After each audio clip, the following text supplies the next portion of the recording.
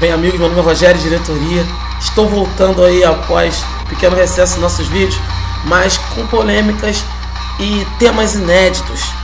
E hoje eu vou lançar um tema: Homens feios versus homens bonitos. Por que os homens feios têm mais atitude que os bonitos? Dois motivos principais, vou ser breve para vocês entenderem. Os homens feios normalmente, não estou generalizando, apenas apontando a maioria e porque eu também tenho um pouquinho, pouquinho, somente um pouquinho de experiência nesse assunto.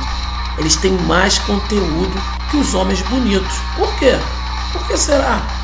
Os homens feios geralmente eles são mais inteligentes, mais dinâmicos, mais engraçados, mais divertidos.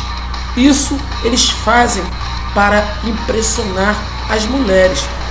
Geralmente acontece é, algo químico entre o homem feio e as mulheres bonitas. Geralmente eles acham que eles são mais divertidos do que um homem bonito. Entendeu? Porque não, o homem bonito ele não precisa é, impressionar as mulheres, já que ele tem a beleza natural. E já o homem feio ele precisa. Por quê? Porque a beleza não é o suficiente. Os homens feios, o segundo tópico é os homens feios precisam de mais atitude que os bonitos.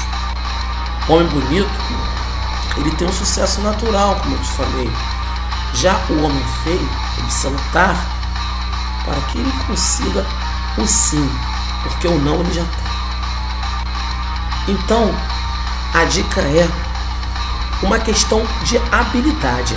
O homem feio desenvolve habilidade, já que ele tem que suprir certas deficiências que ele tem em sua face, em seu corpo.